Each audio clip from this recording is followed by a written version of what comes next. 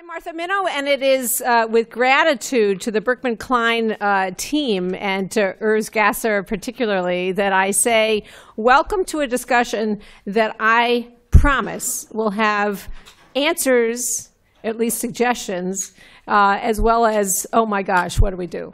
Um, so, fake news is a phrase that now no one is quite sure what it means, but we're all worried about it. Um, and we will spend a little bit of time talking about what do, what do we mean by it, what has it come to mean. But we're going to spend most of the time together talking about what are tools that um, are available or could be made available to help people sort through the floods of information and the democratization of access to information that makes it very hard to know what's true and what's not true. And then, of course, there's not anything new at all about propaganda and lies. We've always had them. Now we just have more access to them. Um, so one of my favorite cartoons shows in the antique world of Xerox machines, someone going to the Xerox machine and making a copy of, of, of something and saying, send it to the world. Now, at the time, that was a funny cartoon. But now, with uh, the internet and digital possibilities, anybody can send anything basically to the world. And I think that's the context that we're going to be addressing. Um, I will say something briefly about each person when I introduce them. Uh, and I'm immediately turning to J. Nathan Matias, who is very importantly involved in the Berkman Klein uh, Center for Internet and Society here. And he's also involved in the MIT Center for Media, uh, Civic Media. And he's a PhD candidate at MIT, and he's going to kick us off. What do we mean when we say fake news? What do you mean? So, when people think about fake news, we often look back to that moment when Craig Silverman at BuzzFeed uh, did this amazing report about Macedonian teenagers who were creating fake articles and earning thousands of dollars a month. In fact, one of my favorite fake news headlines is, quote, after election, Obama passes executive order banning all fake news outlets, which of course was itself fake news. Yeah. Uh, but the reality is much more complex. It's much more common to see something like a recent Breitbart article uh, entitled California's Recipe for Voter Fraud on a Massive Scale. There's recent work by Yochai Benkler and the folks at the Media Cloud team here at Harvard that shows that often what we get are kind of powerful political entities uh, creating information that has maybe a kernel of truth, um, but it's really disinformation. They mix truth with familiar falsehoods and kind of logics of the paranoid to make something that is not just believable, but something that maybe when you go to Google, because they're the only people writing about it, you might feel like you're fact checking it because you see 10 other links from similarly connected organizations saying the same thing, even though it's something closer to disinformation. It goes beyond what can actually be claimed. Because in the case, for example, of California, um, you know, their motor voter laws are things that are similar to uh, what other states have already implemented. And there's not really been evidence that those kinds of things lead to uh, uh, voter fraud. So there's this, there's this problem where we have a wide variety of disinformation, and people are concerned about how that uh, information spreads on social media. There are fears about filter bubbles. There are fears about the use of algorithms, whether it's Google's search or whether it's Facebook's newsfeed that might influence how these things spread. And in my research, I've done work to help understand what we as citizens can do and what the public can do to better understand those algorithms and influence how they work for the better. Great. We're going to hear more about that soon. So An Xiao Mina is an expert on memes. Uh, and she's a writer who looks at global internet and network creativity. And here, as a fellow at the Berkman Klein Center, she's studying language barriers uh, in the technology stack uh, because the interest in diverse communities is a big development of her work. Uh, she leads the product team at Meedan, which is building digital tools for journalists and translators. And she co founded Civic Beat, a research collective focused on the creative side of civic technology. What do you mean by fake news? So I think um, when we think about fake news, um, often, so this is my perspective as a product manager uh, working with journalists. Um, often in these communities, we, we always, you know, we use air quotes, fake news, fake news. And in many ways, this is an implicit acknowledgement that this phrase has come to mean so many things to become almost meaningless. It's an umbrella term for so many other words, um, other, other phenomena that I think we um, that so the problem of fake news starts to seem intractable because it is such a diffuse uh, has a, such a diffuse meaning. Um, and I really appreciate Claire Wardle's uh, breakdown of fake news. She she she looks at different types of fake news, anything from satire and parody to uh, misleading content uh, to really manipulated content, and then you know, fully fabricated content, and then also breaks down different motivations, everything from parody to the goal of punking to actually spreading propaganda. And when we look at these uh, different techniques, when we really break down fake news, we can, you know, we can start to think about different strategies and different techniques for addressing um, the wide variety of problems under this umbrella. So I think there's a different range of strategies for when an Onion article becomes cited as fact, um, which is a frequent phenomenon, especially in global contexts where um, a, a, a, global newspaper, a newspaper outside of the U.S. might not might misunderstand the context of the Onion and then cite that as news, versus um, our strategies for dealing with state-sponsored propaganda botnets. Um, so as we break down these these different um, these different uh, motivations and techniques, it also helps us think about breaking down our strategies. Um, the other thing about um, their frameworks around fake news is also the, the very word fake news. It it, it, it orients us towards a um, kind of orientation towards truth and falsehood, um, when often the reason that things spread is um, is um, is not about truth or falsehood, but about affirmation. Um, we, we talk about the, internet, you know, the internet as an information superhighway. It's one of the early metaphors for the internet. In many ways, it's sort of like an affirmation superhighway. People are looking for validation of perspectives and deeper cultural logics. I, I tend to agree with uh, Whitney Phillips, uh, a researcher Whitney Phillips. Her framework around this is suggesting that we think about it as folkloric news or, or folk news um, because it, it, it, orients us less towards uh, truth and falsehood, which is still important, but more towards motivations for sharing and participation and how that um, reinforces deeper cultural logics. And, and, I guess that's my, my third point here is, is as we think about solutions for this fake news problem, it's also thinking about short-term and long-term solutions. In, in product management, we often think about what is the immediately addressable problem versus what is the kind of long-term issue here.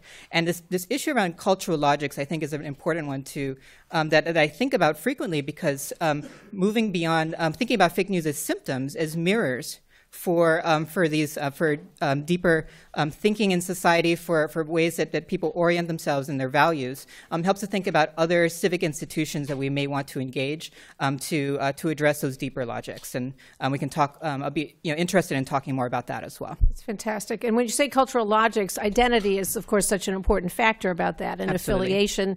Uh, Larry Bartels has a recent book looking at American politics, electoral politics over the last 70 years, and finds that it is not policy, it is not party that explains how people vote, it's membership and identity. Um, and so I think we need to include that, particularly when we think about civic media. So Sandra Cortesi is our expert in youth and media. Uh, and she uh, coordinates the youth and media policy research at Berkman Klein with the UNICEF, an important initiative you know, I was recently struck when uh, it turns out that Common Sense Media has issued uh, its recent study where it finds that a lot of young people act, uh, do not know what's news, what's not news, what's fake news, what's not news, and yet they really want to get news. So let's hear from you. Thank, thank you. So um, I would like to particularly highlight two points uh, that again uh, focus on young people. When I say young people, I mean usually middle and high school students here in the US. And in that context, together with Urs Gasser and other people uh, on the youth and media team, we have engaged in a large qualitative study talking to young people. And so two points in that context. The first one is I think we should look at fake news more in the context of not just what is true and what is false, but more in the context of information quality. Um, acknowledging, so we have done a large study on information quality, very big report, but acknowledging that information quality is first is highly subjective. So uh, what is what you value as high quality information highly subjective, and that it's very contextual. And also important in that context is that we acknowledge that we should take into account that all the different steps in kind of this information process. So not just how one evaluates information once you're confronted with it, but also how you search for it and where you get it, and then also how you share it, you create it, you remix it, and so forth. And the second point in the context of young people, again, we heard it a little bit before, but what news actually means uh, to young people is quite different, actually, than what it means to adults. Uh, through those focus groups, we have uh, learned that young people often have a more kind of social uh, view on what news means, also a little bit a broader um, perception of news. And I think that's then also important when we think about what are the different quality criteria they uh, employ when looking at news. I think that's key to keep in mind in this conversation. So, a social view means that they it's affiliation with the news uh, producer, or what does the social mean? Well, social also in the sense of what is relevant to them in their context for their needs, their communities, and so forth, but also looking more at what kind of information slash news they get from friends and people in their networks online, for instance, on social media. So that's great. That's great. Thank you.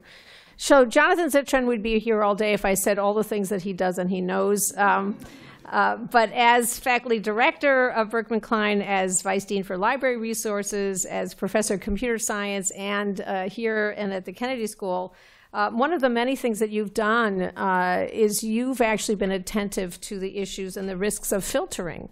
You've done that from the beginning, and that you conducted the first large-scale studies of internet filtering in China and Saudi Arabia. So, as we think about fake news, how do you relate that to these concerns? Great question. And those studies of filtering, uh, 15 years ago now, 20 years ago, presumed that there was a source of consistent information that, if not true, was respected, and that people around the world would want to get to it, and that regimes that didn't trust their populace uh, and maybe wanted to mislead them would try to block the populace from getting to that good stuff. And that model, I think, is greatly scrambled now, in part as regimes have learned. Uh, I think it's Zeynep Tufekci who calls it a sort of uh, informational distributed denial of service attack, where if you could just pump enough stuff out there, it's really hard to figure out what the reliable stuff is from the non reliable stuff. So when I think about defining fake news, even there, I, I hope it's kind of an oxymoron to use the phrase because innate in the original concept of news was that it would bear some relationship to reality. I hope I'm setting the bar at the right level for news. That's not actually saying it's true. It just bears some relationship to reality, both in having some truth value to it uh, and in being presented in some appropriate context. It's really easy to create a mosaic of completely true things that paints a totally false picture.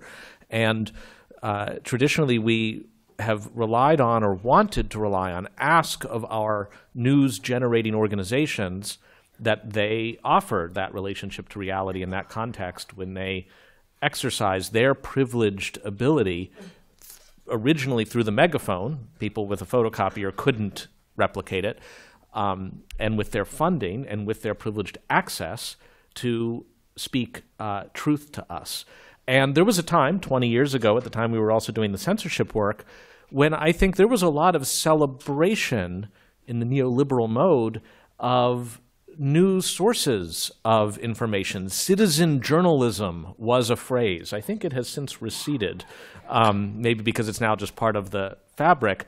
And I remember actually a conference about 10 years ago where somebody uh, who was skeptical was like, citizen journalist, huh?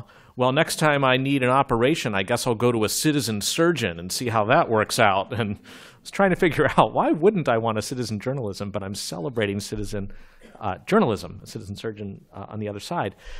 And I do think they're distinguishable, but I would not, in dismissing what maybe previously was thought of as a monopoly of sources, mainstream media, often spoken of in a disparaging way, there was a sense of a craft and profession to journalism, including ethics. I spent a memorable summer in high school at the National High School Institute at Northwestern. They had something called the Cherub Program, and you could kind of pick your topic. And one of them was at Medill, the School of Journalism, and they really tried to inculcate us recalcitrant 10th graders into what it really means to be a journalist. And there's a lot that has to do with the ethics and the trust placed uh, upon journalists, and whether or not it makes sense to have only a handful of reporting organizations, or whether that's even possible now, seems to me less the question than how much we should value retaining a sense of those ethics and that balance, aspire to it even in the breach. And that just briefly gets to the fake part of fake news. I would define fake uh, also with a fairly um, generous standard as being that which is willfully false. Take aside that which is careless, negligent, got it wrong, gee, I'm sorry, but rather look at the profusion of stuff that the person saying it or repeating it does not to believe believe it to be true or is absolutely indifferent as to whether uh, it is true or false. And to look at our ecosystem now, we can see reasons of statecraft and ideology to want to propagate false things because the ends justify the means and I have a better uh, goal at stake, perhaps, and uh, under the idea of just it makes me money. The microeconomics of this space should not be underestimated, and it's something that Nate made reference to in his opening remarks. Uh, that it can just be extremely profitable to pump out things that are knowingly false and to see them uh, uh, achieve a foothold. And that's part of the problem I think we need to take on if our goal is to have a news ecosystem that bears some relationship to reality and comes from a source that has some sense of ethics or responsibility. Thank you. Well, we're going to turn now to tools. And we've heard people identify the material economic reasons for uh, the problems that we're now encountering and the democratization of access and generation of information, but also on the demand side that the demand is not necessarily for truth and not necessarily for verified facts, but maybe for affiliation, for membership, or dare I say it, rubbernecking. Can you believe this? Right. So there's a uh, Facebook has done an internal study to find out, uh, looking at their algorithms, what gets escalated to the top. And it turns out the vast majority of what we would label fake news that gets escalated to the top was never opened. So it's just the tagline. It's just the headline. So that seems to me, I want to call that the rubbernecking idea. Can you believe this? And we don't even know whether the people forwarding it agree or don't agree, or it's affiliative. Look, I see, I was right. Or can you imagine that people are saying this? So as we think about tools, who wants to go first? Nate, do you want to go first? Sure, I'm happy to kick it off. Um, so when we think about I, I, appreciate you mentioning these. We might think of them as feedback loops. They could be social feedback loops where the people uh, connect more to people who they affiliate with through misinformation, and that leads them to spread it. So there's a social feedback loop. There are also these algorithmic feedback loops that we might worry about, where then these things become popular.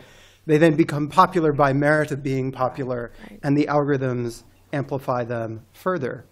The first thing I want to say about that, though, is that we need to be able to put the role of social technologies in context.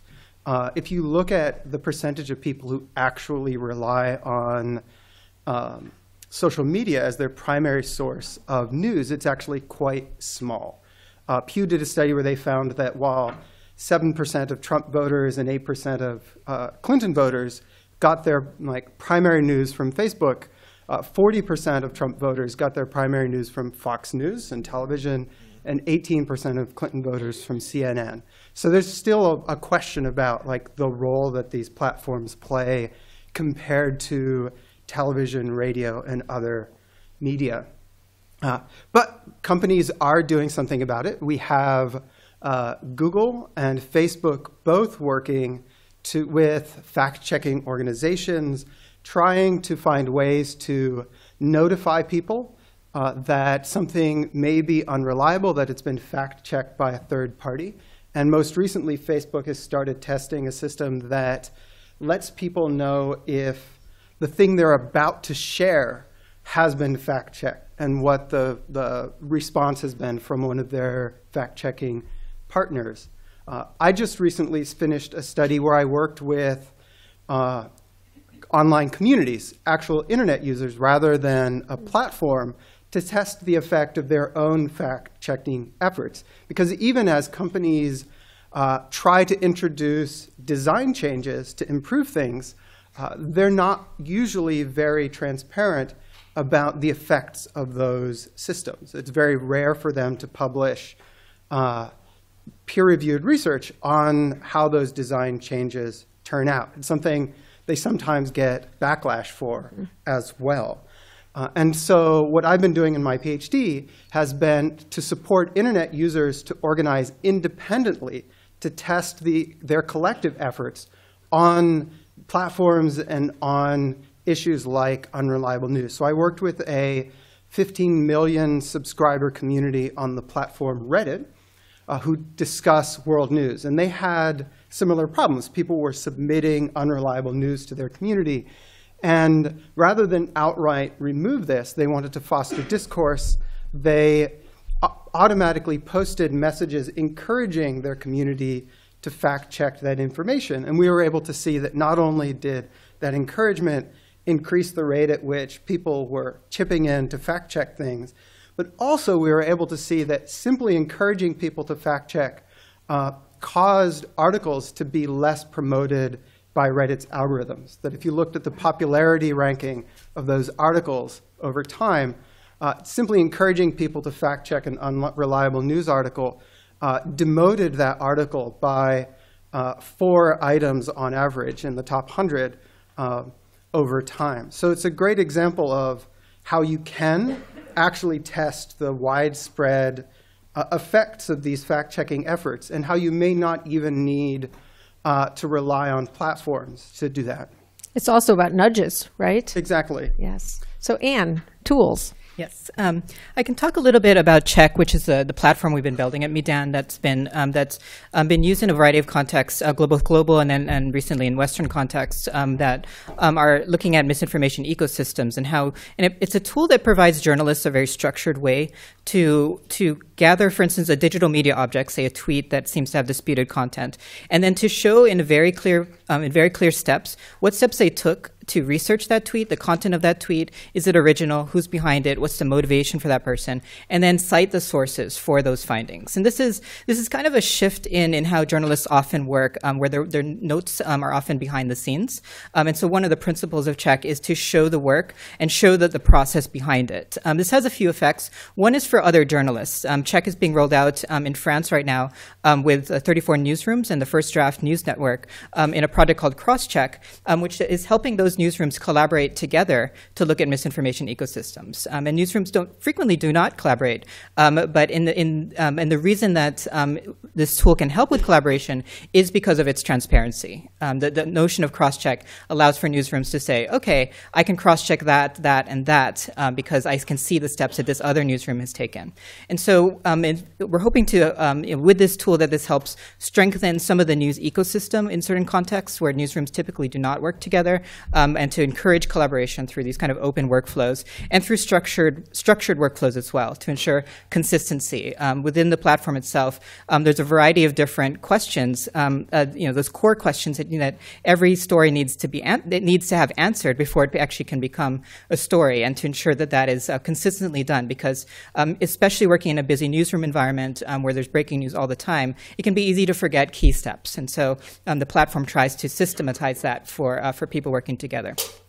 Um, the reason for this is there's there's kind of that immediate term use, and there's also kind of some long term thinking here as well, um, because uh, the tool is also being used in Hong Kong. There's a there's a general election, uh, chief executive election coming up this weekend, and the University of Hong Kong is using the tool in their classrooms, um, in, the, in their J schools, with both journalists and non journalists, um, and uh, journalist students and non journalism students. And the goal there, in addition to um, all the other principles I described, is not just to to help with journalism, but also to help build better journalists. Um, to this notion of, of creating ethics and trust around around journalism um, is to train you know train journalists in the process um, in these kind of new processes of research that are required in the digital environment. Um, and so um, that that process is going on right now, where we're still looking at the results. But I was, I was speaking with um, Professor Anne Kruger out at the University of Hong Kong, and she's been noting that um, through the process of having to go through all these steps and these checks, people start to develop, develop these habits of mind around what they're sharing and then what they uh, and how they are articulating what they're sharing online with their community. Even if it's fake, they might be debunking it or, or offering rationales for why they're sharing it um, that offers greater context um, to help um, help with these misinformation networks. And then the longer term goal with the platform is then also collecting data. Um, all of this, all of this, all of the information is collected within Check. People are adding metadata around this, tags, um, and you know inf- information about where the source is, what are the motivations behind this. Because ultimately, because some of many of these techniques are so new and different within a networked environment, our hope is that this also fosters, you know, uh, provides a set of data for for longer term research as well and transparency. That's great. Sandra, tools. Yes, so tools. So we heard a little bit about uh, social tools and then technical tools, but as we are youth and media, or I, I work on youth issues, uh, education is one of the tools in this toolbox. And there, I think three points could be relevant. One is how do we actually uh, conceptualize something like news literacy or information literacy or digital citizenship?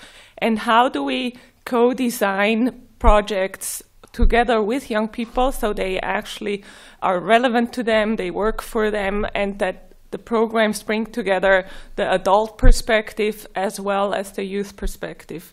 The second one that is important when we think about learning uh, and education more broadly is where do young people actually actually learn? So it's not just in the formal context, but we also have to include informal contexts. So after school learning, how is that happening, and how can you connect the informal with the with the formal one? And the third one that that I think is relevant uh, in the youth context is to also consider what are actually the limits or limitations of media literacy or digital literacy.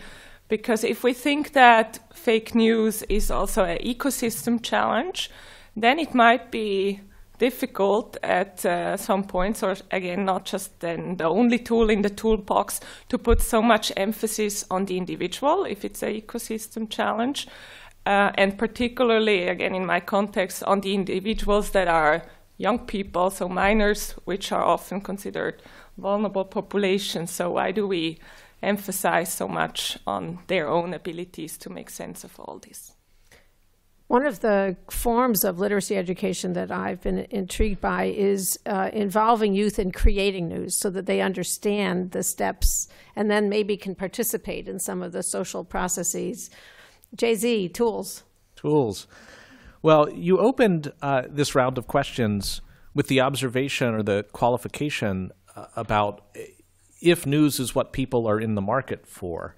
And there's some curiosity about contemporary social media that we don't know what we're in the market for. We're just sort of on Twitter and like, let's see what comes up next. And it's a very weird form of one armed bandit where it's like news, excitement, dog. And cat usually. Yeah right. More cats please. And in that environment you could see people could be online for all sorts of totally justifiable or understandable reasons. And uh, if you're there for entertainment being reminded as you're about to share something that like now let's be careful. The truth value of it's like enough already. I want to share the dog.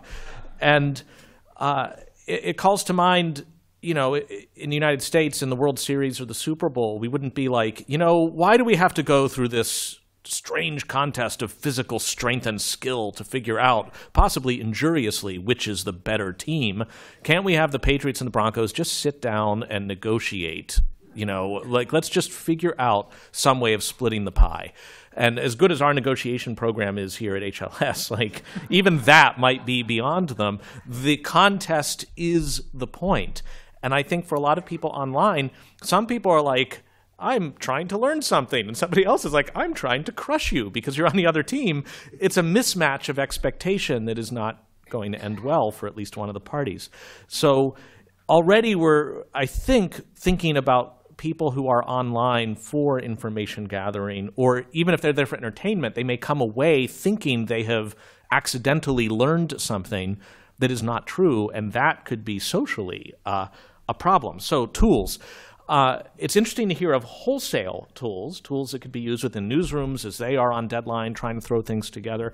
I've also been thinking about retail tools. What are tools that could make the experience of typical media consumption and social media usage uh, more amenable to learning if that's what you're there to be doing? And for that, I think there's a, couple things. Your point about there's a lot of headlines that are never opened means that it's really easy, for instance, to see a story from the Denver Guardian that turns out to be false about an FBI agent that um, uh, was died under suspicious circumstances and had the goods on Hillary, and uh, wholly apart from the facts of the story, whether you want to contest them there's the fact that the Denver Guardian doesn't exist. Like it is not a newspaper. like okay, like at least let's agree there is no Denver Guardian. If you were in Denver, no one would be guarding you, and uh, you could see wholesale tools that would at least have, without reference to the content, something about the source. The way that on eBay, for the longest time, somebody selling something on eBay who just joined had shades next to the eBay account, which for years I thought just meant they were really cool. And it's like, when do I earn my shades? It's like, no, you lost your chance. You had to be new, but it's supposed to mean they're a little shady. Weird that eBay did that. you know, before buying a plasma screen from a shady person, you might want to not do it.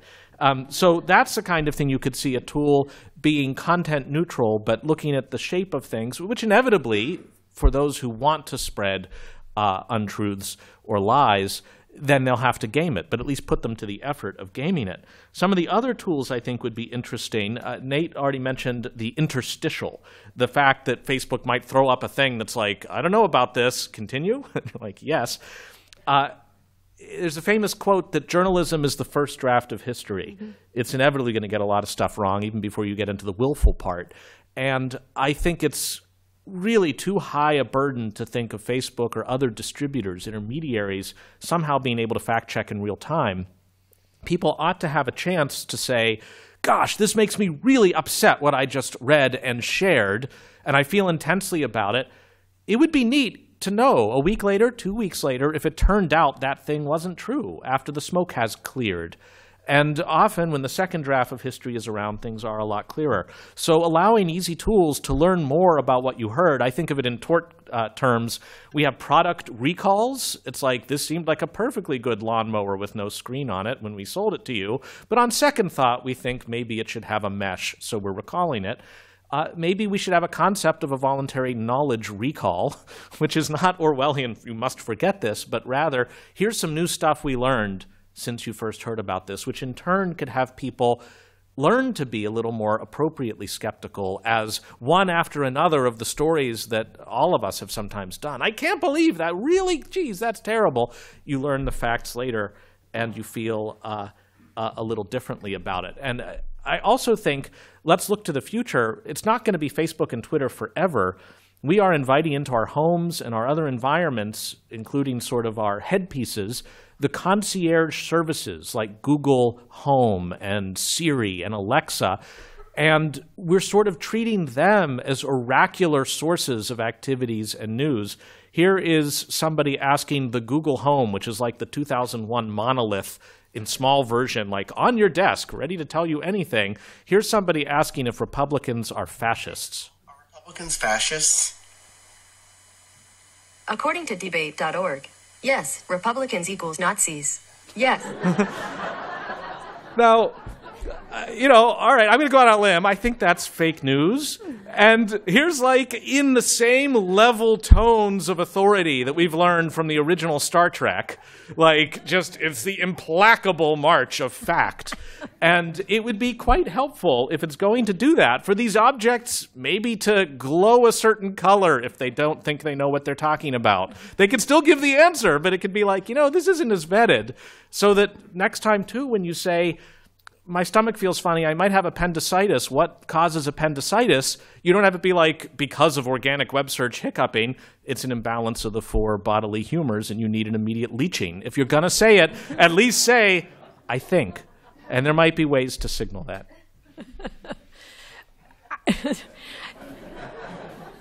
I asked you all to to identify further questions that you have, and we can talk about that. But it's also my moment to invite all of you here. What questions do you have, and what tools do you have to offer? So before we turn to everyone, let me just uh, identify quickly.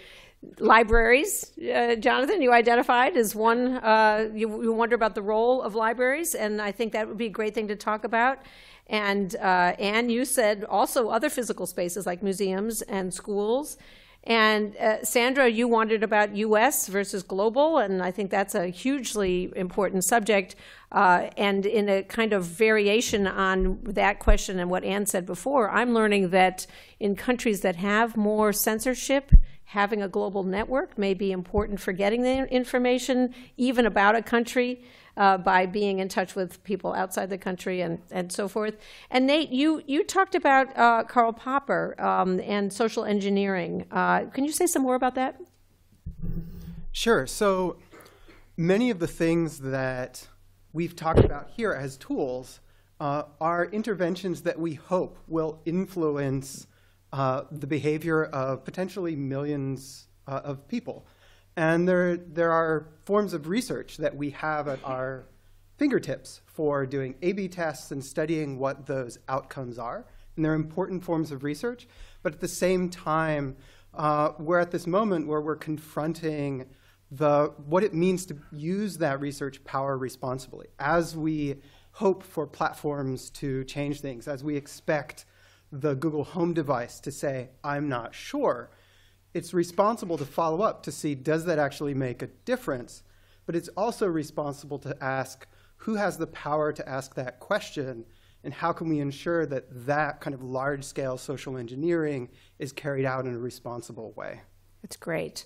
Um, and I do worry about the infinite regress of the person who is shady putting shades by the entries by others that aren't shady and so forth and so on. So, um, okay, now your turn. And, uh, I, and in the spirit of what we've just been talking about, please not only identify yourself uh, and your source code, but also um, whether what you are saying is an opinion or is a fact or uh, something like that. So please, and here, wait for the microphone and just say who you are. Hi, my name is Ron Newman, and I'm somebody who has dabbled in journalism occasionally and helps run a, a, a community blog uh, in my neighborhood. And this is a question. Uh, say you have a, a reputation management system that says, oh, the uh, Denver Guardian doesn't exist, therefore you shouldn't believe it. How's it going to tell the difference between that and the hypothetical uh, Denver Times Herald, which nobody in Denver has also heard of because it just started last week and it's just getting underway, and this is its first big uh, news story? Maybe since I brought up the Denver Guardian, that was for me. It's also um, in federal evidence law reminiscent of the Daubert case, where judges are asked to assess the truth of something before they uh, decide whether a jury is allowed to see it, for which one of the objections uh, that led to that particular formulation was like, what about Galileo? Like everybody else disagreed with him, but darn it, he was right. And I think there are, for any system, going to be false negatives, false positives. It's why you'd want to approach it with complete humility. I appreciate sort of Martha's warning about do we really want to put one of the handful of gatekeepers, uh, uh, the point about Pew and sources notwithstanding, in the seat of deciding what's true and what's false?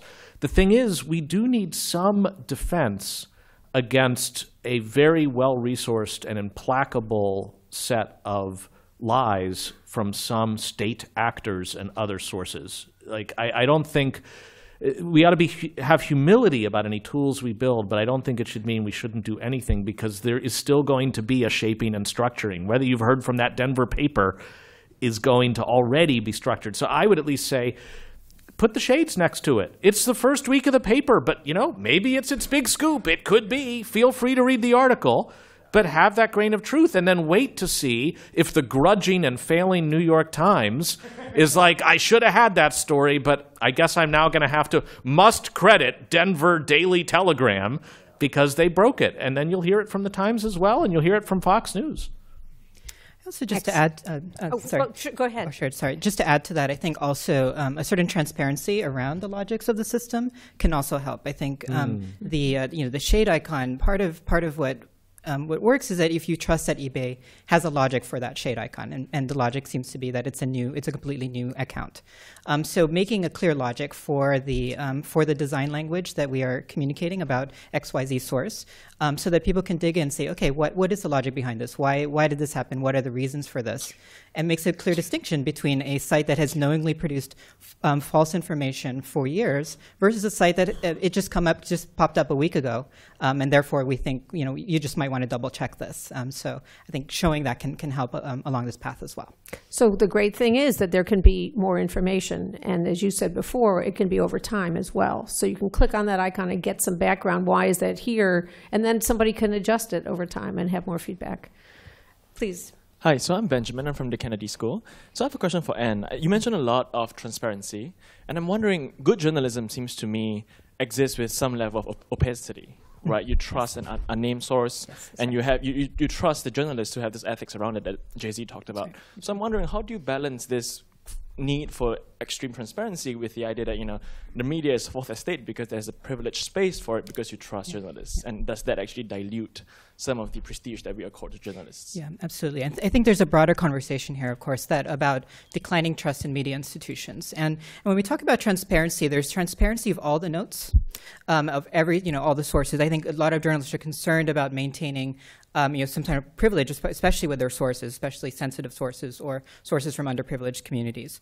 Um, but there's also transparency around process and um, and checks. And so I think when we talk about transparency, we have to talk about both of these things. Um, that sometimes there's a reason a journalist has to protect a source, but frequently when someone says an anonymous source said X Y Z, they don't indicate why that source has to be anonymous for um, for X Y Z reasons. Um, and so showing a transparency of process. Here's a decision-making process we we we went through to decide whether or not um, to declare the, the the name of this source um, can um, hopefully um, can hopefully help build trust because a lot of the process um, this kind of sausage making behind a story is often hidden be, because there's this assumption that people might understand what that what that looks like, but often the, the general public doesn't really get to see what work you know the going on behind the newsroom, and so I think that's one that's one way to, to kind of break down transparency. Let me put the library question. What, what role could libraries play? Well, libraries at the moment seem to be one of the handful of institutions in the United States still retaining a lot of trust and good feeling from a huge swath of the population. like, it's hard to think of any other major institution that comes close. Now, you might say, that's a bunch of capital. Let's not spend it down by getting into the fake news wars. And there's some sensibility to that. But I actually think that to the extent that libraries represent a profession and a set of values that overlap greatly with the ideals of professional journalism, whether or not they're met in day to day practice. Uh, the idea of a librarian whose job it is to help you find what you're looking for without judging your own question, guarding fiercely the privacy of your having asked that question because curiosity is to be treasured and the pursuit of knowledge should not be uh, uh, something that you feel shame about and that you could be made public. Very different from what a typical search engine, which too often has replaced sort of the reference desk, uh, may not be embracing as much. And I could see ways in which uh, librarians are ready to offer kind of human effort, not looking for the technological shortcut all the time. And that could complement the technological shortcuts that Google and Facebook and others are racing to introduce to help us gradate that which we see. So uh, my vision would be for you see something online and there's a button you can press that says I'm really curious about this and I'd like to know more about it. And if a threshold, enough people who aren't habitual button pushers press the button about that, it like appears in the inbox of one of the librarians around the world who volunteered to have a look at it and maybe even to have a discussion group with some other librarians to actually kind of get to the bottom of it. It's a distributed Snopes. And Snopes has its own fans and detractors now. They're in it. They are part of the news story. Uh, but having a distributed set of folks who stand behind their own research, who are citing to sources rather than speaking ex cathedra uh, or out of their own purported substantive expertise. Their expertise is meta. It's about finding the source, weighing it. What a great opportunity to involve the treasure that is our world's professional librarians in this process, get them interacting with people who are curious. And it's the kind of thing I would hope, say, Sandra would discover uh, that kids would be interested in participating in as well. I think it's a totally reasonable eighth or ninth grade assignment to spend a day in the trenches of validating stuff and share it with your teacher in your class. What a great thing to do with our kids. And I mean, additionally, as well, what I think is great about libraries is that they bring communities together. So it's not just a space you would go if you want to have a trusted a piece of information or a trusted librarian. It's actually where people come together and debate and discuss. So I think that's equally important about libraries. Uh, particularly in Colombia, where I grew up, there are many great examples of libraries playing a key role in fostering dialogue among people with different views. Great. It's kind of a neutral place. Hi, I'm, I'm Paul Lippy. This is a question for Jonathan in his role as a taxonomist. So it, it seems to me that potentially the scale of this problem is not that big. So if you just did an 80-20 of how many stories a day represent 80% of all stories read, what, what do you think the number of stories is, and is there a classification system that exists to you know, define and control the text of the story so you could say this is X story? Because if you have those, then you can probably come up with some kind of system that's not controlled by the walled gardens, but the walled gardens kind of implicitly have Yeah. have a taxonomy of those stories.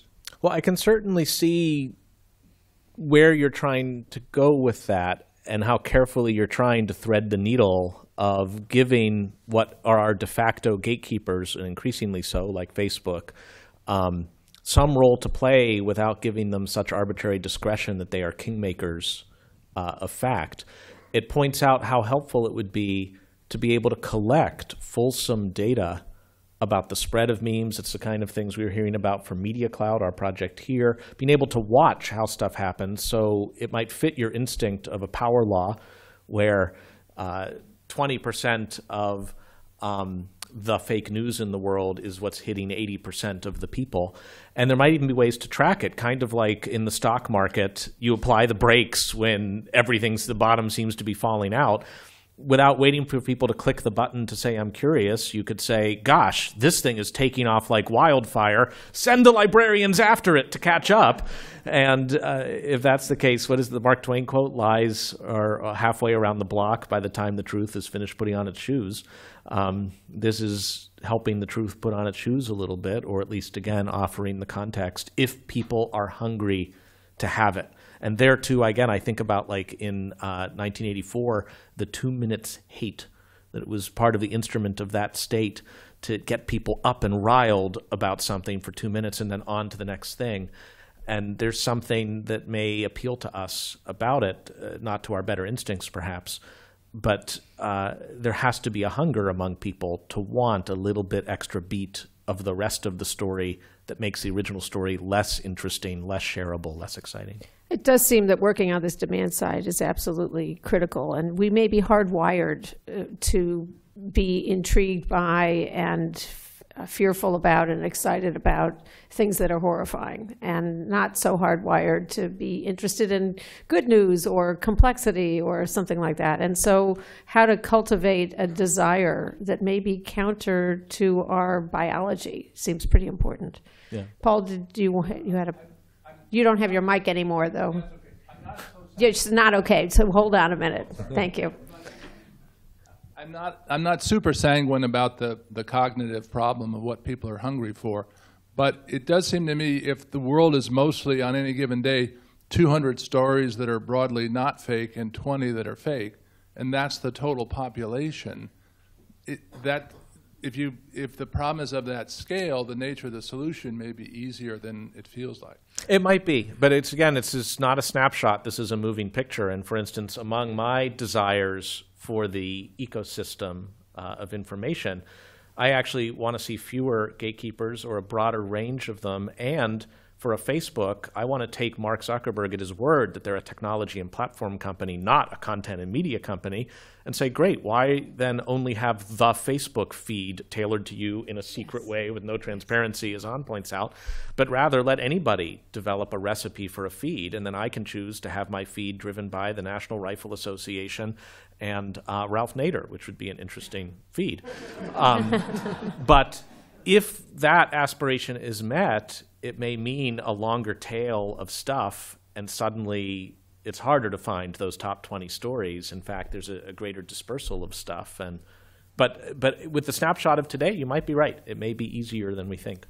You know, we're, we're getting, I think, a question about how much do we know? And there's a real need for more research yes. to even know what the scale is and also what it would take to make it possible for people to express what they want. Yes. And that maybe more people want to be able to customize their their feed. And if that were clear, and Facebook hasn't asked that question, then that would be relevant to Facebook and others. Yes. And do you want to say something?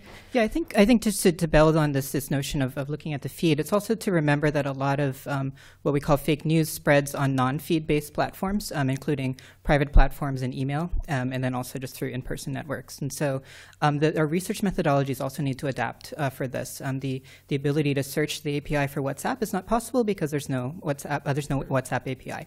Um, and yet, WhatsApp is a critical platform for a lot of rumors and misinformation in a context like India. Um, and then you have Kakao Talk, a private network in Korea, um, and then you have uh, WeChat in China. And so the methodologies need to adapt, um, and, and also our, our comfort with um, knowing that it's unknowable because of how these things spread on private networks as well. Um, and so our, our, focus on the feed is important, but at the same time, um, understanding the other ways that these things spread and um, uh, is also very critical. The history department here now is encouraging people to do work on the history of rumors. I mean, there's a, a something we can learn historically too. I heard that too. Yeah, way in the back. So, I'll grant. Let's for a moment. Say who you are, please. I'm Peter Metros. Thank you. I want to grant the benefit of the doubt technology. Let's say we have a perfect technology that can perfectly identify fake news. Why would anybody actually use it? You have people in the general population who go to entertainment media, be that television or Facebook, basically to be entertained. They go, they see how places that reaffirm them. News sources are uh, incentivized journalists to put out articles as quickly as possible. Uh, saying I was wrong. New York Times publishes an article.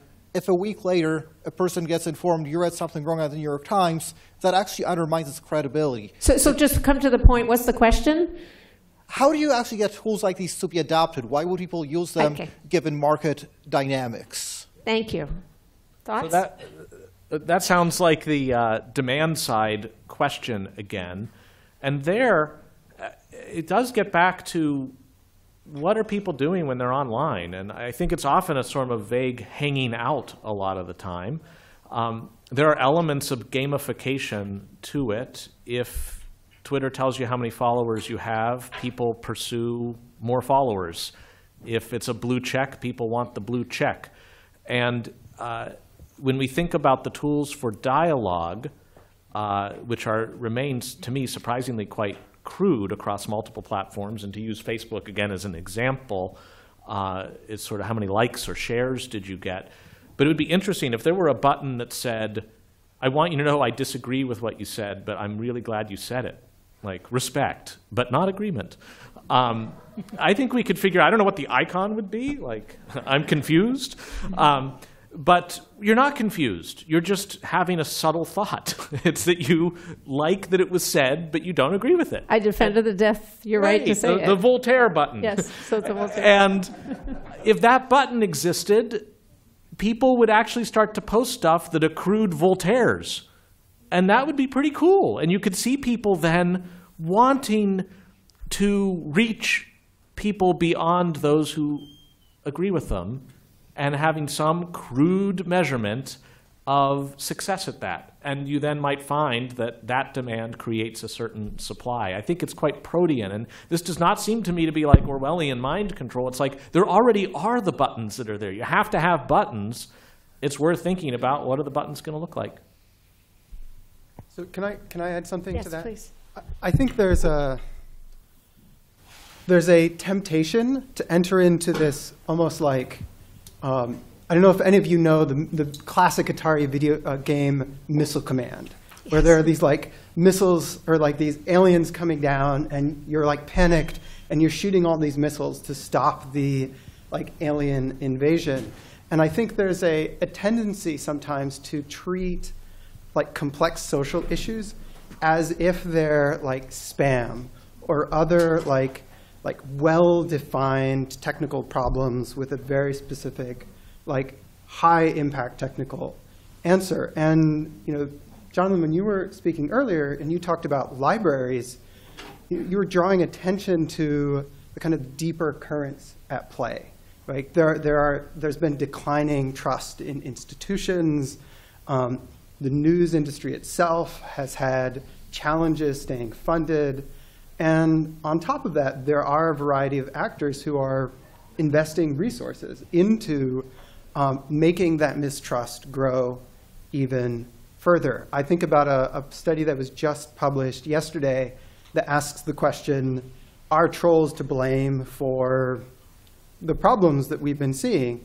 And Biella Coleman, and Whitney Phillips, and others wrote this masterful article pointing out that whatever you know trolling culture may be doing at a given time, there are these wider social trends that we need to be thinking about.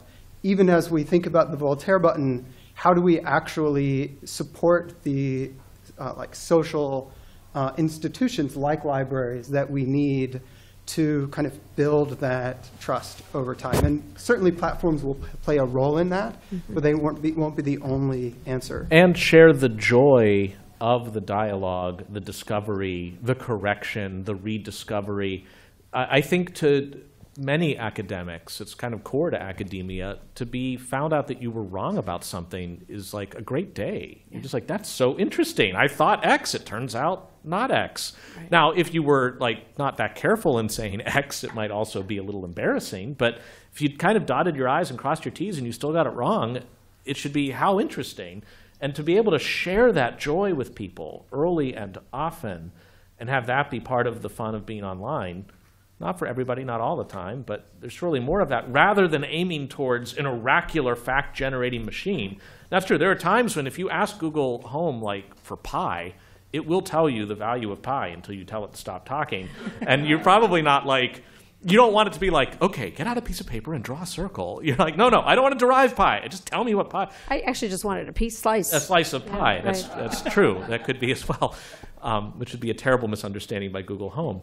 Um, but uh, many more of the topics that we are concerned about and that factor into who, for whom we would vote, how we would think, how we look at our neighbors. Those are things that really are great candidates for the dialogic dwelling upon rather than just the oracular answer is this good or bad? Urs Gasser. Thank you so much. Great panel. A quick observation. It's so interesting talking about the different tools we have in the toolbox. We covered technology. We talked about social norms approaches. We talked about the importance of market forces. And yet, in the background is law, right? The fourth modality of regulation. And we didn't talk about it right at all. us. So, exactly. Yeah. So, the question, maybe even to the moderator, if I may, does law play a role in all of this? And not only in the restrictive version, in the uh, constraining version, as we recently see in Germany with the Network Enforcement Act, uh, requesting um, social media platforms to take down content that is clearly legal. Actually, interesting merger between hate speech and fake news there uh, within 24 hours but maybe also enabling law that uh, clearly shapes uh, where we stand today. Uh, these are legal decisions that these platforms uh, have enabled. So, is there a role of law to play as the fourth mode of regulation in the Lessig framework? So this is the beginning of our next event, I'm sure, uh, and I'm sure that uh, it's just important for us to shine a light on how law is underneath all of these structures and what's permitted, what's enabled, what's encouraged, what's reinforced. Uh, there's a legal framework for the social engineering. There's a legal framework for the cultural and civic institutions. And so I think it would be a very worthwhile exercise to spotlight, to highlight uh, what law is enabling, what it's preventing, uh, and what it could do uh, to promote the development of more tools along the many dimensions that we've talked about here. Please join me in thanking this wonderful panel.